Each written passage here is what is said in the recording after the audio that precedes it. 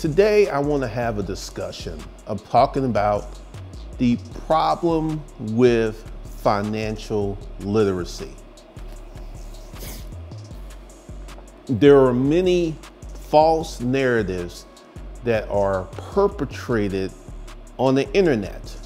And one of the biggest false narratives is that people actually get rich in the stock market. Do you know that 10% of America owns 90% of the stocks?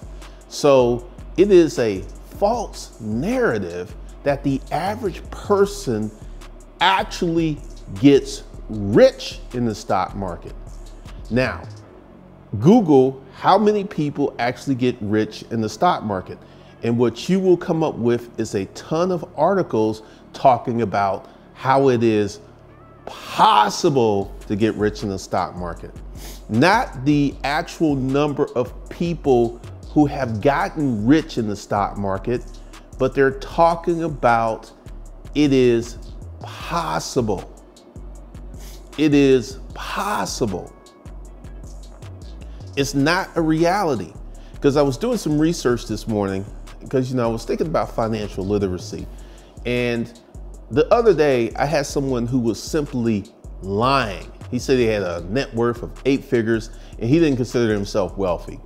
And it got me to thinking how many people are actually financially literate? Because there's so many misconceptions out there. And one of the biggest misconceptions, because I get it a lot, because I am currently not in the stock market. And because whenever I talk about getting wealthy and making money, many people want to challenge that because I'm not in the stock market, which tells me that the false narrative of the average person getting rich in the stock market is so widespread. I found an article that I posted in the community section. The average person who gets rich in America gets rich through a business. And, you know, it got me thinking. One of the things is that people do not want to um, do what is hard. This video was brought to you by Glendon Cameron School, the home of the flagship course, Home Economics.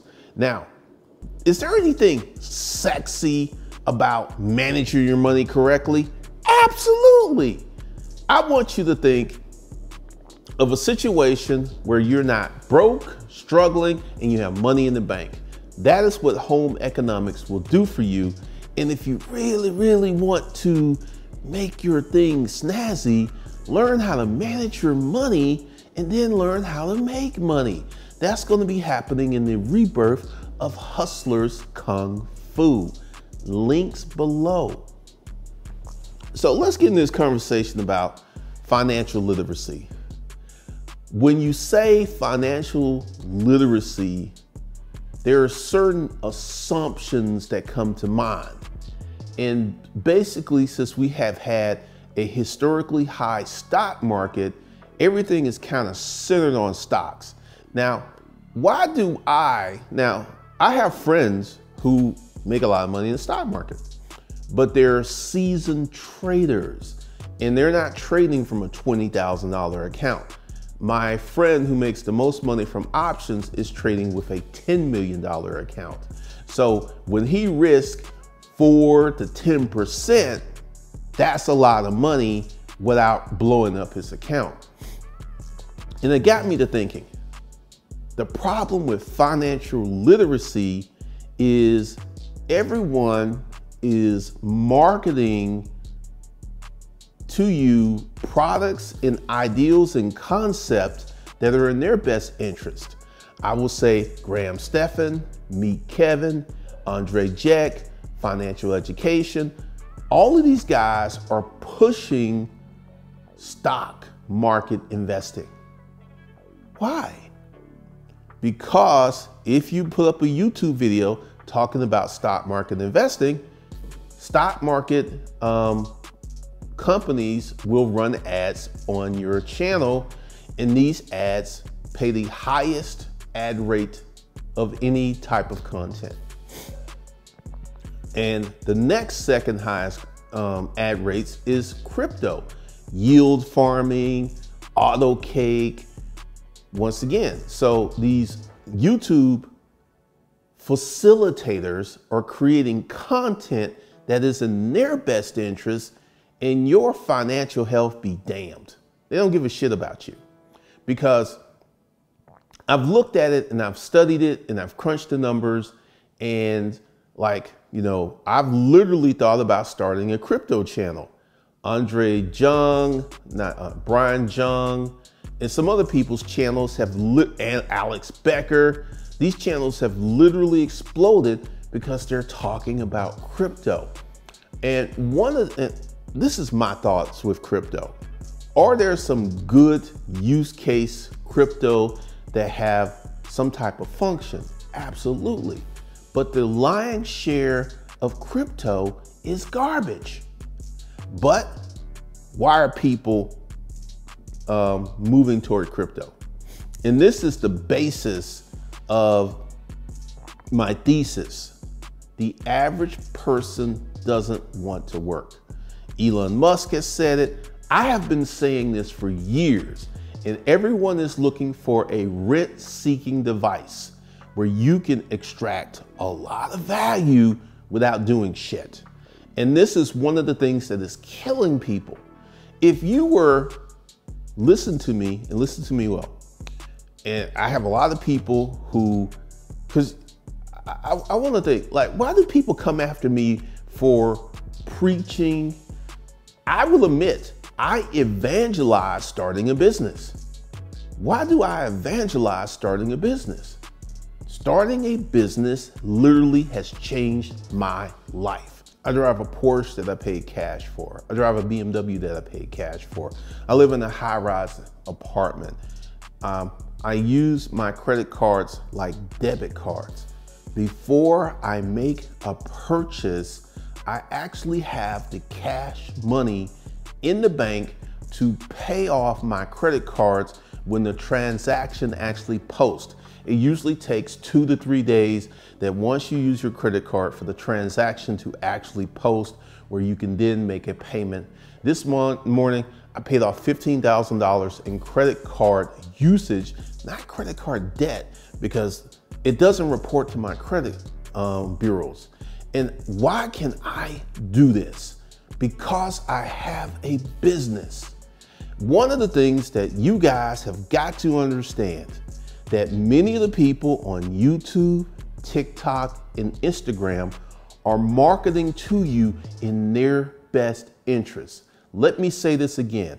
Stock market commercials, crypto commercials are, are pay the highest ad rates. So this is why all of these guys are pushing the stock market. Now, I'm about to speak rugged and reckless. I have been trying to school your dumb ass for years. Once again, the average person is never going to get rich in the stock market. You want to know why? The average person doesn't have enough capital. So, let me go ahead and tell you what put me on this path. Years and years ago, I was living in the boarding house and I was in massive pain because there are many of you who are in moderate to low grade pain. You drive a shitty car, you live in a shitty place, you're fucking a bitch that you don't like most of the time because that's all you can do, but you're not in enough pain to fucking change. So I was in pain where I live because I was living in a room with no heat or air. I was in pain professionally because I was working all these shitty jobs. And it just got to the point where I got sick and tired of being in pain, which produced me to create massive action, to create massive change. And once I got that job at Rent a Crate, my life has been on an upward trajectory ever since because I know what waits for me if I fall. Now I'm in a pretty solid position, so me falling off or it, it ain't gonna happen. Um, as I'm about to say something, because many of you choose to pull. Because one of the things is, and I'm, I'm gonna say it, I am great. And for some of you, that's offensive. For some of you, go ahead, Glendon. I appreciate you. I think you're great. I can actually say I am great. I am accomplished. I've done shit. I don't have a self esteem problem. And one of the things that I can say and look back as a list of accomplishments. And for some reason, there's a certain group, I'm not talking to the nerd gang, the nerd tribe. You guys love me and appreciate me, and the love is reciprocal. I appreciate you. But for some reason, there's a bunch of low intellect, hating bitches that love to watch this channel and love to try to challenge my assertions. Yes, I evangelize starting a business because it has literally fucking changed my life. Alex Becker starting a business has changed his life. Christian Guzman starting a business has changed his life. Max Chewing starting a business has changed his life. These are people you can Google and look at. Mike Rashid started a business and it's changed his life. This false trope that you're going to get rich in the stock market that's pushed by Dave Ramsey and many other people ain't going to work out for the average person. I listen to Dave Ramsey and frequently a lot of people who call into his show have incomes of 150 to $200,000. So 30, you know, 20% of 150, that's $30,000 a year. That is the amount of capital that you need to invest in these slow growing investments to become a millionaire in 20 to 30 years. That's the type of cash that you need, which leaves out 81% of America. 81% of America has an income problem. You're not stupid, you're not lazy, but you don't make enough money. And that's where I was years and years ago. Uh, Wall Street Trapper says something that I agree with. He said he's never seen anyone with two jobs that really their life improved. At one point, I had three jobs full time job, a part time job, and a PRN job. And my life didn't get any better. You wanna know when my life got better? That first business. And one of the things, because of my history and the lesson that I learned by setting up a savings account taught me to be a prodigious saver. And one of the things that I did, which I feel is very wise, I had a six figure job and, and I had a six figure business. And I did them concurrently. So all of the money from my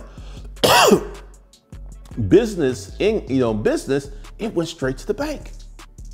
And once again, there are many folks on YouTube who will tell you, savers are losers, savers are losers, because it's in their best interest to get you to invest your shillings, your nickels, your dimes in the invest in the stock market because that makes them wealthy because of the ads that are run on their YouTube channels. I'm here to tell you from personal experience, starting a business was one of the, if not, actually, I'm going to say it, starting a business has been the best decision I've ever made in my life. And this is some of the benefits. First of all, freedom. I don't have to work some shit job. I don't have to do some shit I don't want to do because I have a business that provides me income for me to live the way that I want to. That's number one. Number two, when you build a business and you do the hard work of finding your customer base, audience, and serving your customer base and serving your people, your confidence goes through the roof. A lot of you hate the fact that I am so confident. You hate the fact that I can say, I'm great. I wrote a book. I have a YouTube channel. I've built all these businesses. I've made all this money. A lot of you are offended because you haven't done shit in your worthless ass life. Get the fuck off your sorry ass and get to work and stop fucking hating, you hating ass bitch. I'm sick of y'all. You just want to sit at home in your mother's basement hating. And I saw this with my first version of Disruptive Mail, which will bring me to um, my other benefit. Started a business, I got money, my confidence, my confidence level grew. You see how I'm dressed? I have approached drop dead, stunning, beautiful women dressed like this. Not in a suit, not in a nice outfit. And you know what? Sometimes it didn't work out. And I remember this cute girl that was at Whole Foods. I was in, I had just left the gym. So I was a little funky. And she was so cute. She had on this pencil skirt, she had on these high heels. And I was like, damn. Because I walked by her and I was like, damn, you look good. And she smiled.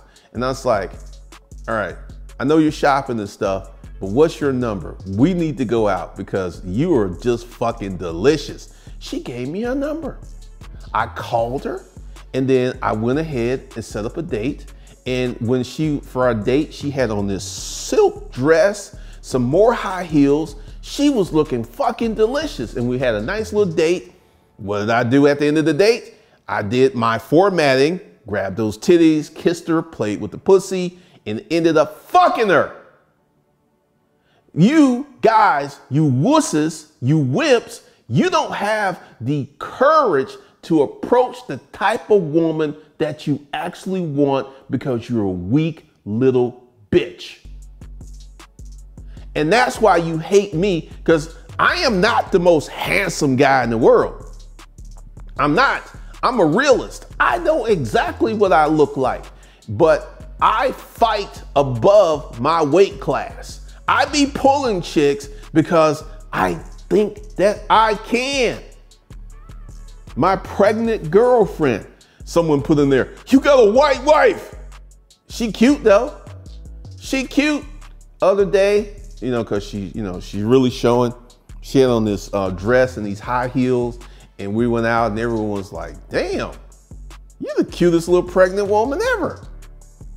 And you, you guys, um, you don't understand because here is one of the reasons with financial literacy you don't know what you don't know. So this is easy for the Graham Stephans, the Meet Kevins, the financial literacy, Andrei Jikh. Like I have a problem with Andrei Jikh. Andrei Jikh's YouTube channel blew up on dividend investing, something that he doesn't do anymore. Once he started making real money, he had the epiphany that dividend investing wasn't the best place to put his money. Now, I'm gonna give you an example of how I would get into dividend investing. If I played the lottery and I won $20 million after taxes, I would take 15 million and put it in dividend stock. I didn't have to earn that money. It's just like, bam, here's 15 million. Because for each million, I would get 30, let's say $40,000. So that's 400, that's like $700,000 a year passive income. And I didn't have to do anything to, to earn it. One of the reasons I don't put money in the stock market, understand there is this principle that I have called money velocity. And this is one of the reasons that I don't worry about inflation. Yes, I have money in the bank. Yes, I am losing purchasing power. But because I have a business, it makes money so fast that I never feel inflation. I never feel it. I don't feel it. Uh, when I go get gas, I fill my gas tank. I just don't feel it because my mental is about getting more money getting more money, getting mo more money coming in. So I don't worry about inflation. I don't worry about a lot of stuff. Like the average person uh, is fucked. The average person is about to go through a very rough three to five years. And it doesn't have to be that way, but you're listening to all of this fake ass financial literacy advice that is not going to help you. It's just simply not going to help you because you don't have enough money to deploy the advice. Because once again, uh, I'm at this point where I'm on a mission to become a different type of YouTuber. The information that I will give you guys will be factual, useful, and helpful. I'm not going to bullshit you with something because this, this is one of the reasons I can do this. I make way more money from my business than I do from YouTube. And YouTube money is only really starting to get significant the last two years. And this is something else. You know, a lot of you wonders like, how do I make my money? Because uh, I sell online courses. And many of you it's like, it'd be great if you interview your students. All right, let me go ahead and tell you some stuff. My most successful students do not want to come on YouTube. They don't want to come on YouTube. Uh, the woman that helped with the cleaning company, she don't want to come on YouTube. You want to know why? Because of you fuckers. The average person doesn't want to be exposed to internet fuckery. Because what's going to happen? I remember this years and years ago. I was dating this girl on Facebook and I put that we were in a relationship on Facebook when that was a thing. And she had an internet website, she had e-commerce. Then everybody started going to her website and jacked up her analytics. And she was really pissed at that. She's like, because they were going to their website to be nosy. They wasn't going to the website to actually buy shit. So her analytics got all messed up for three months. And this is one of the things that, because see, you know, uh, I'm gonna say something. A lot of you who want to see someone else win, and I'm gonna explain to you why that is not a good concept. Let's say you have student A, and student A takes my course and makes a million dollars. Then you have student B, and student B takes my course and makes 50,000. See, interviewing my most successful students would actually be doing you a disservice because this is something I've learned being an educator. There are some students that are just simply better than others. So it's not going to help you for me to interview my top 10% students because you do not have the material, you don't have the attributes that these people do. Case in point, um, when I was doing 30 days to 2,500, I had a guy uh, who was doing 10,000. He took the course and he went from 10,000 to 30,000. Why did he do that? Number one, he already had a business. Number one, it was already making money. Number two, Number three, I was able to fill in the gaps that he did not know, he did not know, and he was missing, and he was able to 3x his income by taking my course. Now, if you go ahead and take one of my courses and you don't have a business, let me be 100% honest, you're looking at a three to five year journey. And I say that, and a lot of people get turned off because it's like, I want it now, man. I need my money now. This is why people are getting into trucking. This is why, like Alex of Good Energy. Alex, I think, is a good dude, but Alex makes more money selling online courses than he does make from trucking. So online courses can be extremely profitable. And one of my fiduciary duties to my student is to give you accurate information and to tell you the truth. Because if you go ahead and take, like, this is one of the things I'm getting ready to do with business fundamental education. Now, fundamentals are so important. Give you a good real life example. Remember the Fab Five of Michigan and when they played Duke in the national championship?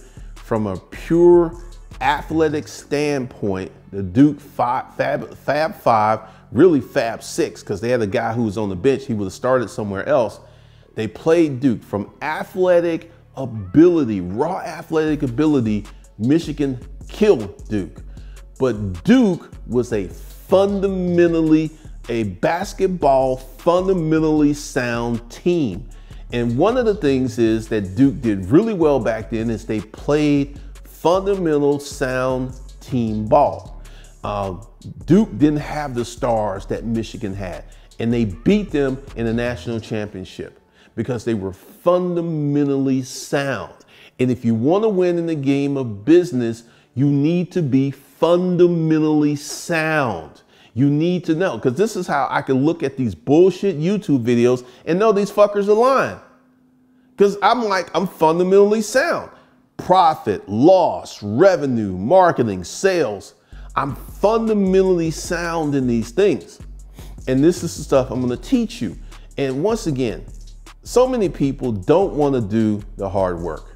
And the way that I'm to teach this class is to make you a successful business owner that creates a profitable business.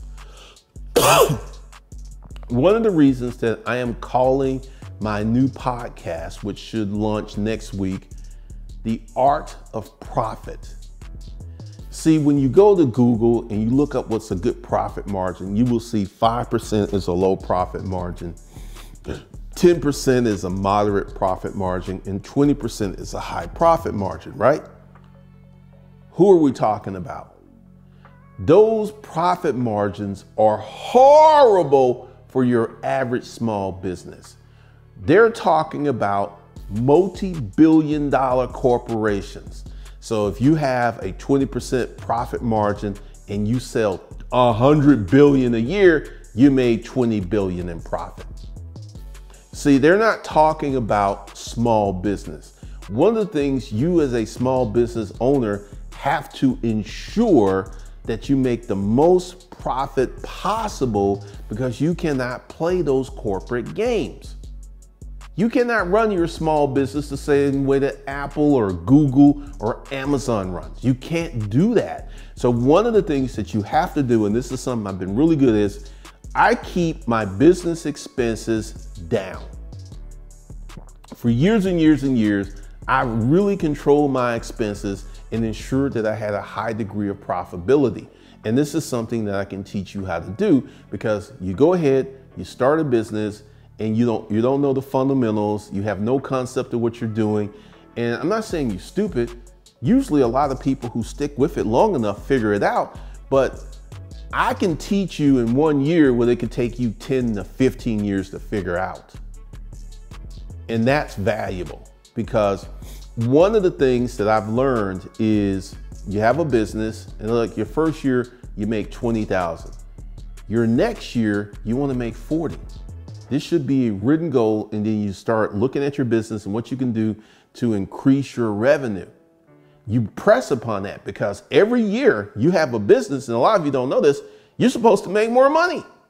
So your first year you make 20, your second year you make 40, your third year you make 60. When I started here on YouTube with Conundrum Publishing, my first year I made 62,000, my second year I made 92,000, my third year I made 1.5 million. Boom, boom, boom. That's how you're supposed to run the business. You should not be struggling. You shouldn't be chasing customers. If you're struggling, there's some things that you're not doing correct, correctly. So if you do the right things, you set up your marketing. There are newsletters here on the internet that make 50 million a year. Newsletters, subscription newsletters. So there's a multitude of businesses, and we're going to be talking about it because once again, I'm going to start this podcast I'm going to start getting into the fundamental business training because see, it's going to help you when you start your business to know what you should expect. It's going to help you because once again, posted in the community section of the Glendon Cameron School and on this channel, the average wealthy person in America got there through a business not the fucking stock market. That is one of the biggest fucking lies on the planet, but a lie told a million times is soon because you cannot even you can. I mean, because this is one of the things when you go to the Google machine and you put in these search queries. If you put in, do business owners make more money than investors? You will yield no results. You will yield a whole bunch of stuff about investing because people aren't asking the right question at scale. They're not asking the right question. Gary Vee, how did he get his money? Business. Richest people in the world, business owners. And then people like, um, I got a video on um, Glendon Cameron School talking about the fallacy of young people.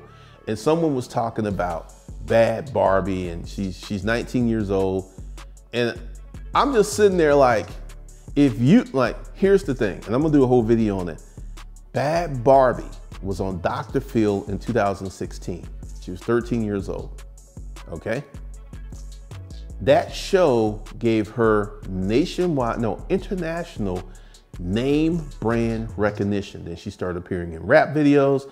Then she built an Instagram that has 16 million followers. Then she jumped on OnlyFans and made $52 million. If she was not on Dr. Phil, that wouldn't have happened with OnlyFans. Because see, this is the business education. I can look back and see what she did and accurately forecast and look at her moves. Right now, there are a bunch of girls on Instagram with large followings and they just hop on OnlyFans and a lot of these chicks ain't even taking their clothes off and they will make crazy money because they already have a following. They already have a following. That's something that you can, and I got a $10,000 bet with someone on the other channel who feels that she's gonna be able to get rich from the internet literally overnight. 1% of millionaires are under the age of 35.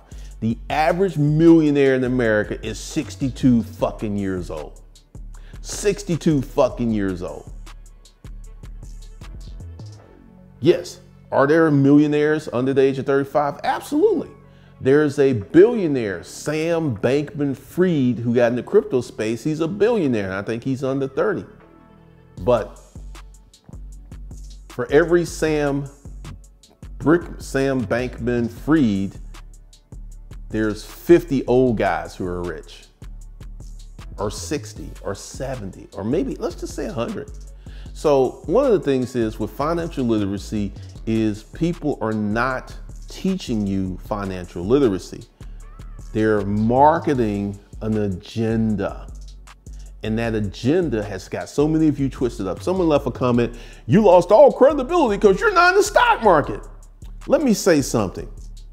I make more money than anyone other than a hedge fund or someone with millions of dollars. The average retail investor, I would make more money in one month than they will make in 20 fucking years. 20 fucking years. So go ahead. You cannot dispute anything that I put in this video because it's based on data, facts, and accurate uh, analysis. You're not getting rich in the stock market no time soon because you don't have enough money. Facts, as they say in these internet streets. Facts!